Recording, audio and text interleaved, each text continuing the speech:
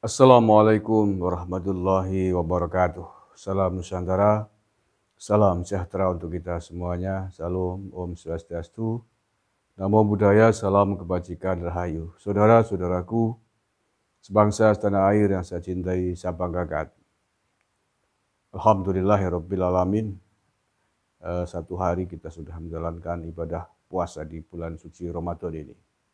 Kita ibarat orang berjalan mengendarai mobil, kita sering terlalu sibuk melihat ke depan dengan lampu jarak jauh ya. Sementara yang ada di hadapan kita tidak pernah terlihat karena lampu jarak dekatnya tidak dinyalakan. Atau beribahasa lain mengatakan gajah di pelupuk mata tidak kelihatan, tapi kuman di seberang lautan nampak kelihatan. Kita sering sekali sibuk dengan hal-hal angan-angan yang luar biasa, tetapi yang ada di depan mata kita sering terlupakan, termasuk di dalam hal ketika kita menghadapi nikmat karunia Tuhan yang Maha Kuasa.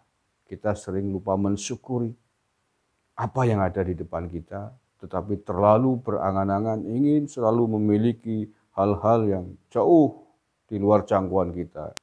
Termasuk kita sesungguhnya kita di kita diciptakan oleh Sang Maha Kuasa, Sang Maha Pencipta, apa pun agamanya menurut saya, tidak hanya Islam, adalah untuk mengabdi kepada Sang Pencipta, untuk berbuat baik, untuk beribadah pas agamanya.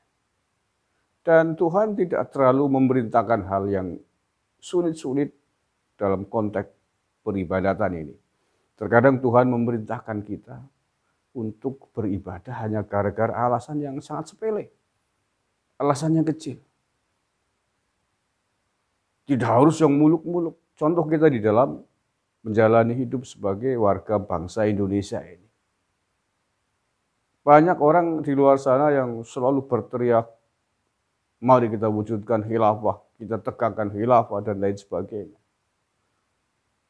yang itu belum tentu konteksnya ibadah. Bahkan dalam konteks fikih bisa itu perbuatan dosa karena mengingkari kesepakatan para pendiri bangsa. Ada hal sepele yang Tuhan memerintahkan kita untuk beribadah, menyembah kepadanya. Misalkan begini, dalam kitab suci Al-Quran Tuhan berfirman sangat jelas. Bismillahirrahmanirrahim. Ila fi Quraisyin ila fi himrih latasita iwa swaib. Falya'budu rabb hadzal baitil ladzi at'amahum min ju. Beribadalah, menyembahlah kepada Tuhan yang telah memberikan kamu makan, yang telah memberikan kamu kenyang dari kelaparan. Simpel sekali, sederhana sekali bagaimana Tuhan memerintahkan kita Salah satu alasan Tuhan meminta disembah, minta pengabdian dari kita sebagai hambanya. Karena yang telah memberikan kita makan, yang telah memberikan kita rasa kenyang dari rasa lapar. Tapi kadang-kadang kita lupa. Kita inginnya justru kita melakukan hal-hal yang destruktif, merusak jati diri kita sebagai hambanya merusak eksistensi kita sebagai warga bangsa Indonesia. Belum mensyukuri apa yang di depan kita, kita tidak pernah berpikir bahwa apa yang kita makan adalah karunia-Nya, tapi selalu berbuat dosa dengan hal-hal mimpi-mimpi yang justru salah, mimpi-mimpi yang tidak diperbolehkan. Iya, buat memberontak kepada negara kan mimpi-mimpi yang tidak diperbolehkan. Dalam agama tidak boleh. Selain itu, selain agar kita menyembah Tuhan karena Tuhan yang telah memberikan kita rasa kenyang dari lapar. Karena Sang Pencipta ini juga yang memberikan karunia rasa aman kepada kita. Rasa aman dari rasa takut. Alladzi at'amahum min ju wa amanahum min khauf. Yakni Tuhan yang telah memberikan kenyang kepada kita dan juga yang telah memberikan rasa aman kepada kita dari rasa takut. Aman Indonesia adalah negara yang aman. Alhamdulillahirabbil alamin. Tidak dilanda peperangan. Kita mau beribadah sholat terawih yang 23 rakaat aman, yang 8 rakaat aman.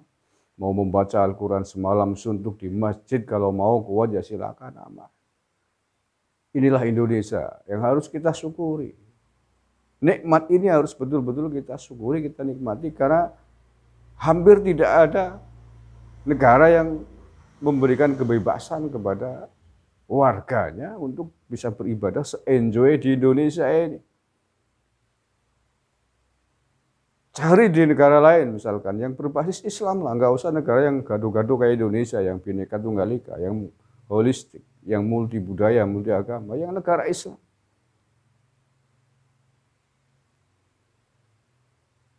Silakan Anda cari negara-negara yang dengan bebas membiarkan warga negaranya menjalankan ibadah di masjid semalam suntuk satu kali 24 jam bertadarus.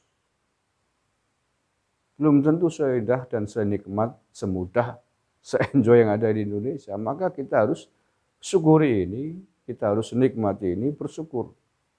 Tidak usah